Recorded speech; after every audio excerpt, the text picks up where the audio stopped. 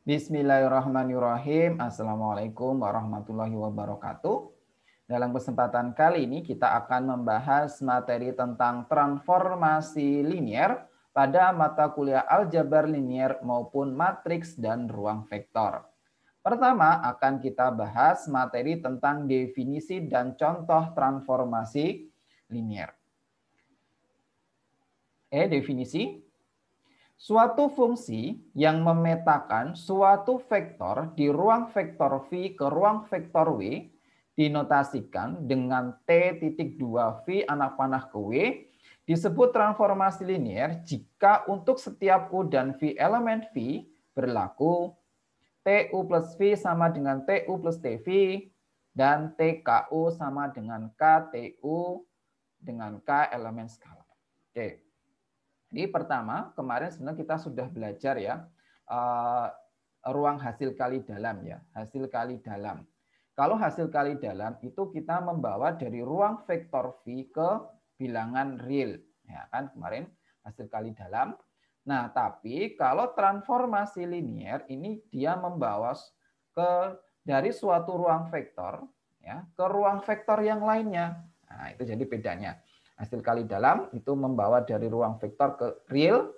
Kalau transformasi linear dari membawa dari suatu ruang vektor ke ruang vektor yang lainnya. Nah, apakah setiap fungsi sembarang fungsi dia merupakan transformasi linear? Tidak, dia harus memenuhi dua buah syarat, yaitu pertama, TU plus V sama dengan TU plus TV. Nah, jadi bisa kita pecah ya, jadi TU plus TV. Yang kedua, TKU sama dengan K kali TU dengan K suatu skalar. Nah, itu ya sekali lagi diperhatikan. Transformasi linear itu membawa dari suatu ruang vektor ke ruang vektor yang lainnya. Ada syaratnya yaitu TU plus V sama dengan TU plus TV dan TKU sama dengan KTU. Oke, kita ke contoh supaya kalian lebih paham. Oke, ini contoh.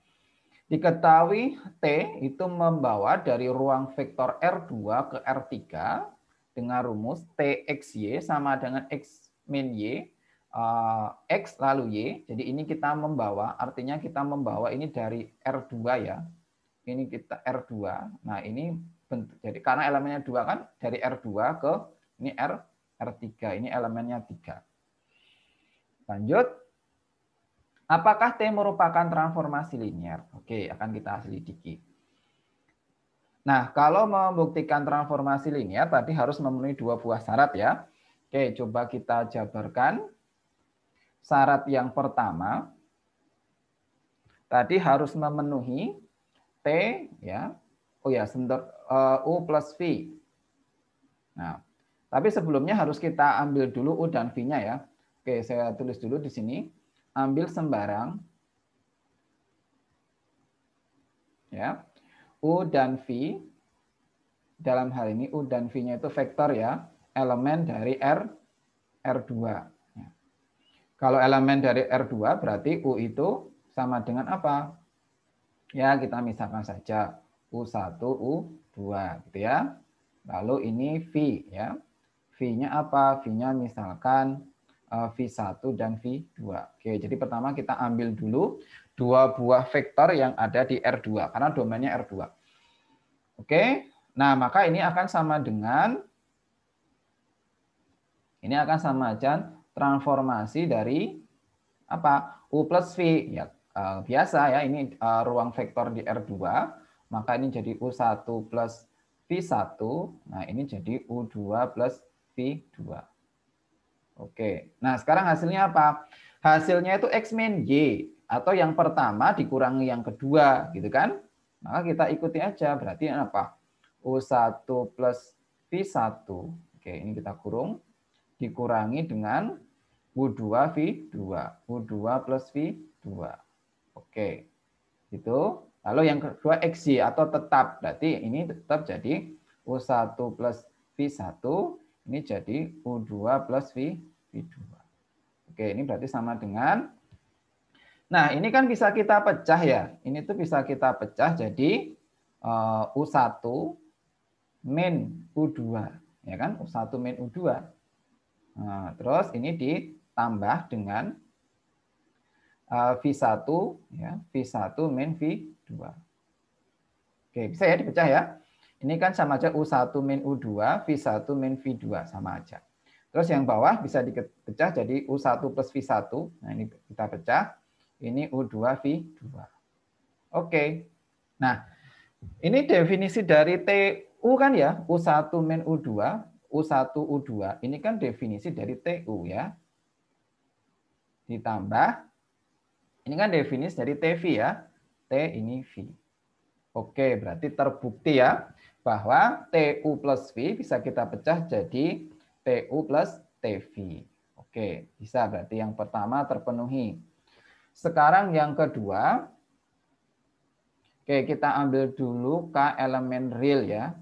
Kita ambil K elemen real. Sekarang kita bentuk T dari KU ya. KU berarti sama aja apa? Berarti ini sama aja transformasi dari uh, KU1 ya, KU1 dan KU2. Oke. Kalau berdasarkan definisi apa? Berdasarkan definisi untuk X min Y. Berarti yang pertama KU1 min KU2. Yang kedua pertama dan kedua. Berarti KU1 ya, ini KU2. Kan gitu ya. Jadi kita ngikutin aja. Yang pertama X min Y. Pertama kurang yang kedua. Berarti KU1 kurangi KU2. Ya kan? Lalu XY. Berarti ini KU1, KU2. Oke, ini kan K-nya bisa kita keluarkan ya. Jadi K kali. Oke, ini U1 min U2. Ini U1, ini U2. Oke. Berarti sama aja K kali. Ini definisi dari apa? Ini definisi dari transformasi untuk U. Oke, terbukti ya. Eh, TKU sama dengan K kali TU. Terbukti maka eh, T merupakan jadi T adalah transformasi linier. Oke, terbukti. Jadi harus memenuhi dua syarat ini. Oke, itu contoh pertama. Jadi harus kalian tunjukkan dulu ya. Eh, TU plus V sama dengan TU plus TV dan TKU sama dengan K kali TU. Oke, kita lanjut. Contoh selanjutnya.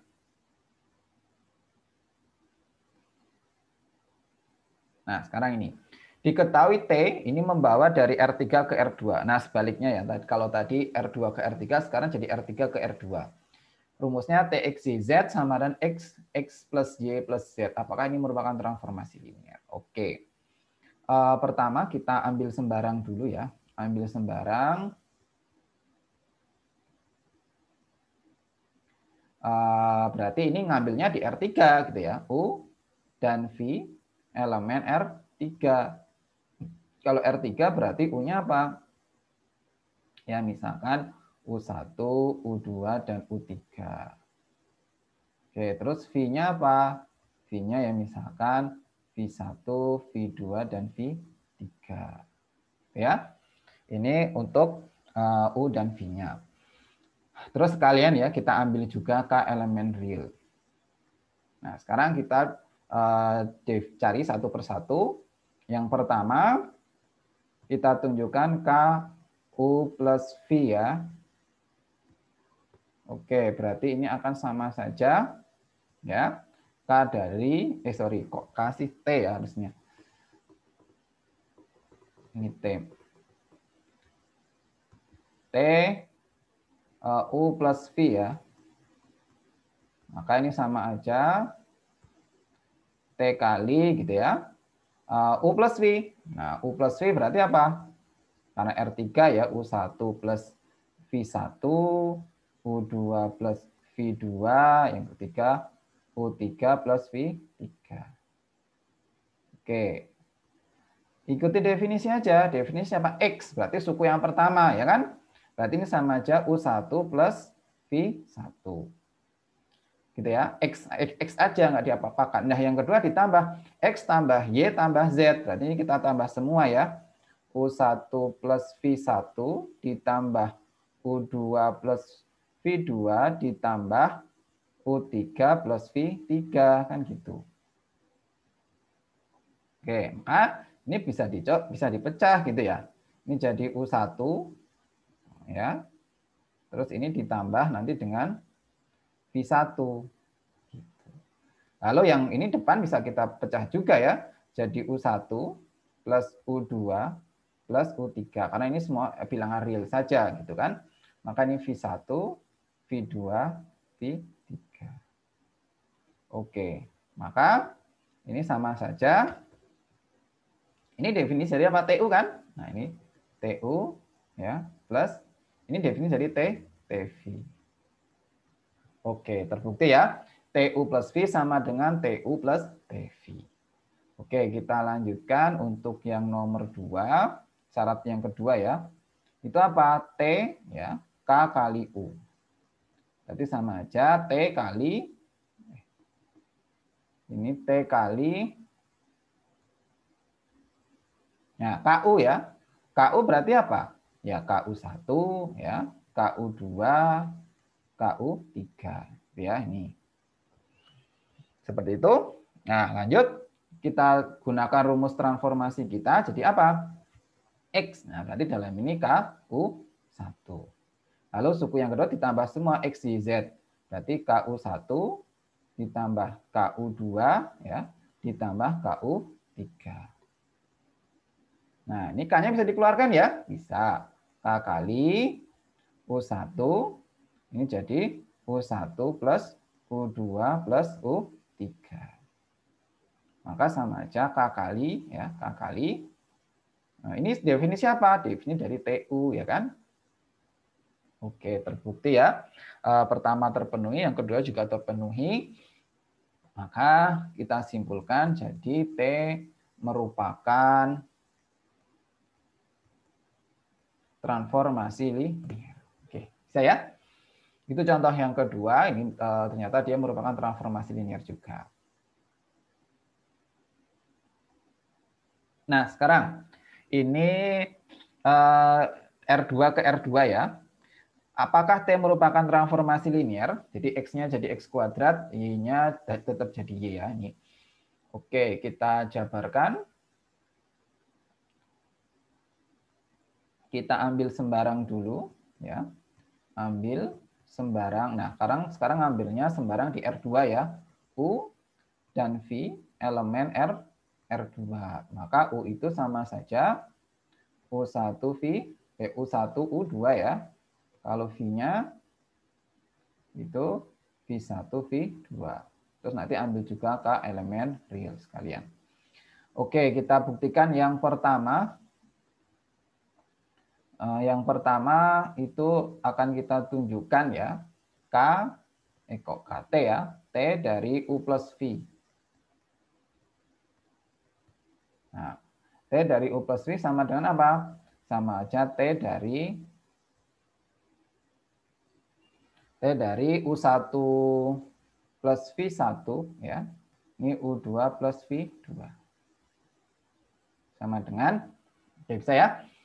Oke, kita gunakan rumusnya gitu ya. Kita gunakan rumusnya berarti ini sama aja. Apa? V1 plus eh, U1 plus eh, V1 ya dikuadratkan. Nah, suku pertamanya dikuadratkan, yang kedua tetap ini V1. Eh, sorry. Sebentar ini U1 plus V1. Oh, oke. Okay. Yang kedua Y-nya ya. Y-nya berarti U2 plus V2.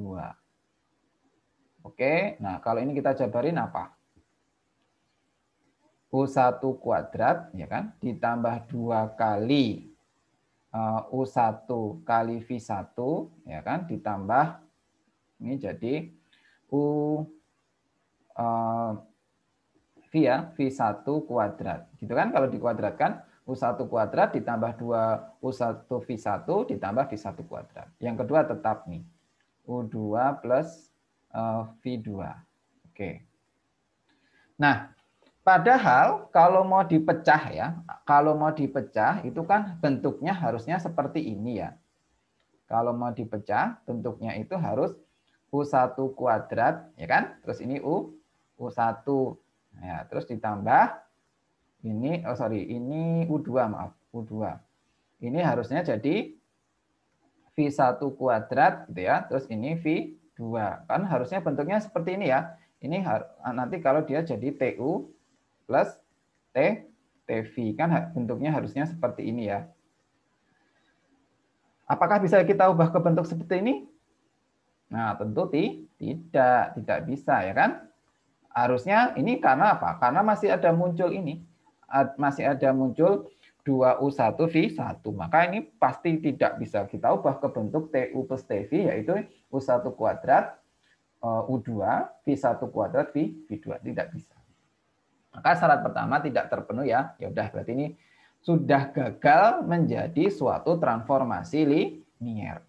Sebenarnya eh, kalau sudah seperti itu nggak perlu dibuktikan ya yang kedua ya. Tapi karena ini untuk contoh, nah akan saya buktikan juga untuk yang nomor dua. Nomor dua itu nah, tadi eh, T dari hmm, K kali U ya. Nah ini sama saja T dari nah, apa? KU1 dan KU2. Gitu. Nah, selanjutnya ini jadi apa? Nah, yang mengikuti definisi itu ya, definisi itu berarti KU1 yang dikuadratkan, yang kedua tetap ya, yang kedua tetap berarti KU2 ya. Nah, seperti ini atau kalau kita kuadratkan jadi apa? K1 K kuadrat gitu ya. K kuadrat dikali U1 kuadrat. Ini jadi K U2. Apakah ini nanti bisa kita ubah jadi gini? Kalau jadi e, K kali TU kan harusnya jadi gini ya. K kali ya. U1 kuadrat. Nah, terus ini U2 kan. Nah, ini kan sama aja K kali TU ya. Apakah ini itu sama? Tidak bisa. Karena ini K kuadrat ya. Maka masih sisa K1. Nah, maka ini tidak sama. Oke, gitu ya. Jadi kalau kita jabarkan harusnya KTU itu K kali U1 kuadrat U2. Padahal kita dapatnya K kuadrat ya U1 kuadrat. Ini enggak bisa. Nah, maka tidaklah sama. Oke, maka yang kedua juga tidak terpenuhi ya ternyata. Maka kita simpulkan T bukan suatu transformasi linear. Itu yang nomor tiga. Kita sudah menunjukkan ya tadi satu dua tadi contoh transformasi linear. Yang ketiga ini contoh yang bukan.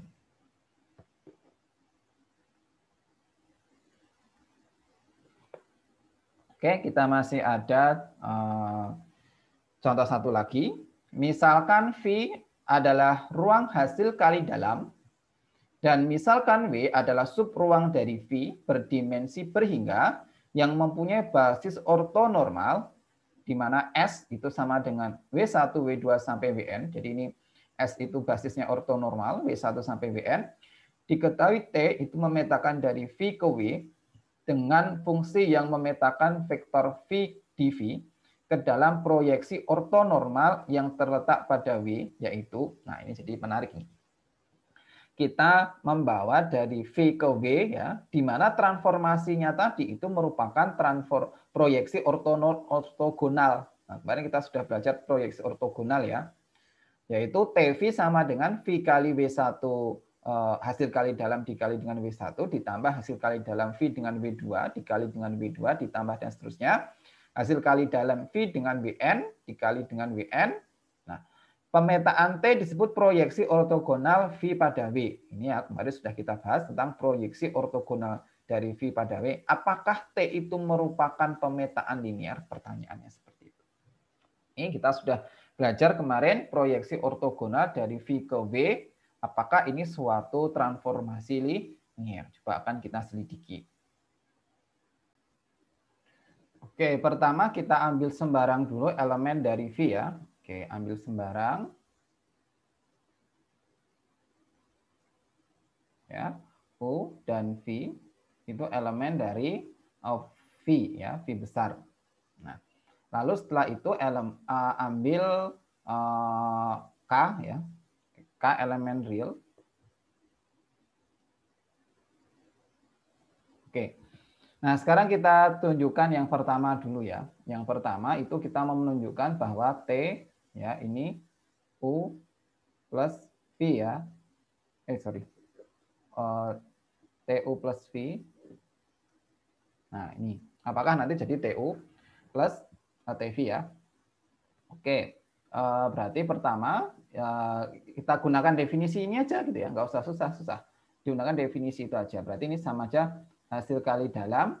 Nah, kalau V ini jadi V, V, V, V semua ya. Berarti ini jadi U plus V semua ya. Oke, ini jadi U plus V ya, koma W1 ya.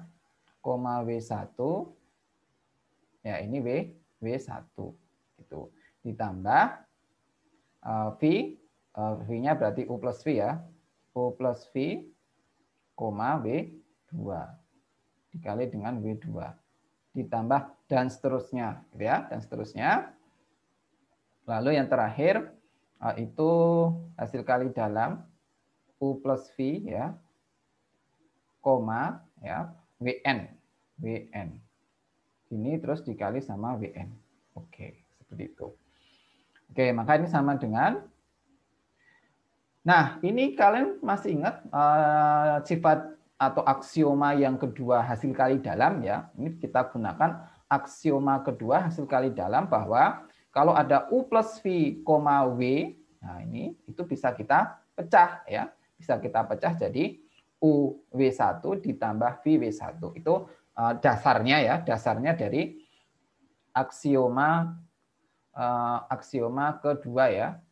Aksioma kedua hasil kali dalam. Nah, pakai aksioma yang kedua. Maka ini bisa kita pecah ya, bisa kita pecah jadi U ya. Eh, U dengan W1. Oke, ini W1. Ya, terus sekarang yang uh, V-nya ya, V, koma W1 W1. Oke, ya jadi ini saya kita pecah. Tuh, Terus ini ditambah sekarang yang uh, yang kedua berarti ini sama aja U ya, koma W2 dan W2. Oke, terus kita pecah tadi U dan V ya. Berarti ini V, W2, ini W2. Oke, ditambah dan seterusnya gitu ya. Sampai nanti yang ke N itu berarti sama saja U ya dengan WN dihasil kalikan dalam dikalikan dengan WN. Oke. Ini juga yang V-nya dikumpulkan jadi satu, maka ini jadi V ya, koma W WN. Oke, hasil kali dalam dengan WN. Oke, itu ya. Ya udah, yang ini kan berarti definisi dari TV ya kan? Coba yang atas ini, yang atas ini kan sama aja definisi dari eh, sorry, TU ya kan? Kalau TU kan berarti ini tinggal tinggal TU semua kan? yang bawah berarti definisi dari TV, ya kan sama persis sama ini. Maka ini bisa kita bentuk ini sama aja T ya. T dari U ditambah T dari V. Oke, terbukti ya. Terbukti yang pertama bahwa TU plus V sama dengan TU plus TV. Sekarang mau kita tunjukkan untuk yang kedua ya. Eh, yang kedua benar ini yang pertama, yang kedua itu T dari KU ya. Ya. T dari KU. Berarti setiap uh, U-nya kita kali, uh, kita kalikan yang V ini, V kita ganti dengan KU ya. Maka ini hasil kali dalam dari ya KU. Ini hasil kali dalam dari KU ya. Jadi hasil kalikan dalam dengan W1. Oke, dengan W1 ditambah ini hasil kali dalam eh, K dengan U dihasil kalikan dalam dengan W2. Ini W2 ditambah dan seterusnya. Oke. Ini jadi hasil kali dalam K U dengan WN ya. Ini dengan WN juga. Oke. Nah, ini kita gunakan aksioma ketiga. Ya, ini eh, nanti menggunakan aksioma yang ketiga tentang hasil kali dalam bahwa K itu bisa dikeluarkan ya. Maka ini sama aja K kali ya hasil kali dalam dari jadi ini sebenarnya awalnya K itu keluar ya dari hasil kali dalam ini dulu baru nanti keluar di keseluruhannya karena yang menghemat tempat ini langsung aja K-nya kita keluarkan dulu ya. Langsung aja keluar e, jadi satu. Maka ini jadi hasil kali dalam U dengan Eh, W1 ya. Ini W1. Terus ditambah dengan ini jadi K-nya sudah keluar di luar ini ya. Maka ini jadi U W2 ini W2. Ditambah dan seterusnya sampai yang terakhir K-nya sudah keluar tinggal U1, W sorry kok U1. U saja ya ini. Ini U saja ya, ini enggak ada U1, U2 sampai N, ini cuma U1. U1 U, saja, U, W, WN ya. Ini WN. Oke. Udah. K-nya sudah keluar dari sini. Ini kan definisi dari apa? Definisi dari K, KU, eh sorry, TU ya kan transformasi U.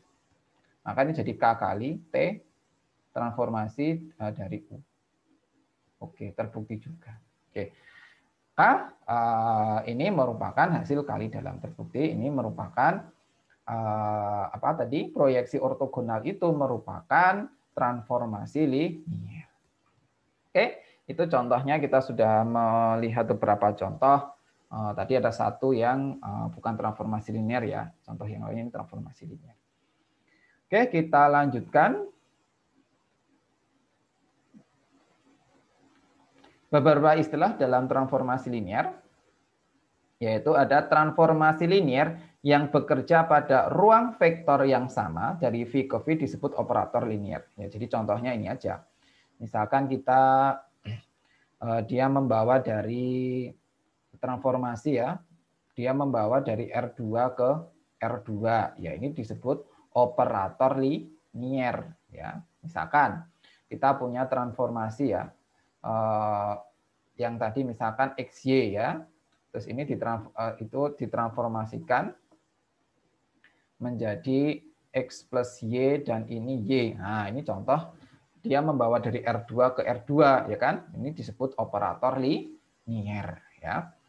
Lalu setelah itu transformasi linier ya dari T ke W sedemikian sehingga TU sama dengan 0 disebut transformasi 0. Jadi semua yang di bawah itu hasilnya 0 ya, semua yang di bawah hasilnya 0 itu kita sebut sebagai transformasi 0. Lalu transformasi linear dari T ke W sedemikian sehingga TU sama dengan A kali U, jadi matriks A dikali U, disebut transformasi matriks, sedangkan A disebut matriks transformasi. Nah, ini yang kalian kenal dulu di SMA ya, ada transformasi linear.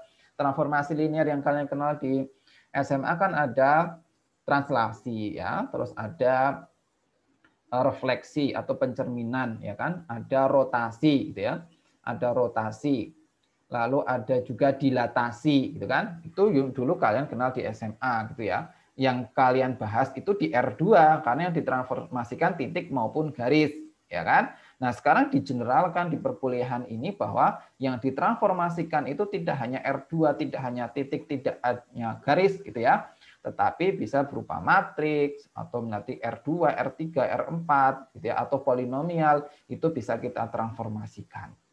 Nah, untuk setiap uh, transformasi yang bisa kita nyatakan uh, A kali U, ini disebut transformasi matrik. Ya.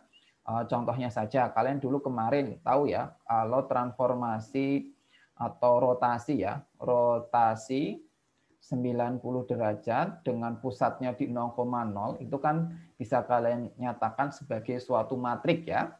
Matriknya itu 01 ya dan min 10 kan. Nah, itu. Jadi ini disebut matrik transformasi, eh, transformasi matrik ya. Karena misalkan nanti kita mau mencari bayangan ya. Misalkan kita mau mencari bayangan 2,3 ya, dirotasikan 90 derajat. Nah, itu bisa kita cari tinggal 0, eh, 1, min 1, 0. Ini kita kalikan dengan 2 dan 3. Oke, maka misalkan hasilnya sama dengan berapa itu? 0, min 3, lalu 2, 0. Oke, maka inilah bayangannya. Nah, transformasi seperti ini disebut transformasi uh, matriks gitu ya. Oke, pertanyaan yang menarik, apakah semua transformasi yang kita definisikan tadi kita sudah uh, contoh empat ya, satu bukan tadi, apakah bisa kita tentukan matriks transformasinya? Nah, itu pertanyaan menarik ya. Kalau kemarin 0, 0 min 1, 1, 0 kan di SMA kalian sudah diberikan matrik transformasi 90 derajat ini. Nah, sekarang kita mau mendefinisikan nanti bagaimana kalau transformasi-transformasi yang eh, kita definisikan di awal tadi, gitu ya, ada tiga contoh tadi, itu bentuk matrik transformasinya seperti apa. Nah, materi itu nanti akan kita bahas di video selanjutnya, yaitu tentang matriks transformasi. Demikian dulu pembahasan kita tentang definisi transformasi linier. Dia harus memenuhi dua kriteria tadi ya, TU plus V sama dengan TU plus TV, dan TKU sama dengan K kali T, TU. Kita sudah memberikan beberapa contoh juga. Demikian pembahasan kita kali ini. Nanti kita lanjutkan ke matriks transformasi. Sekian, semoga bermanfaat. Terima kasih. Wassalamualaikum warahmatullahi wabarakatuh.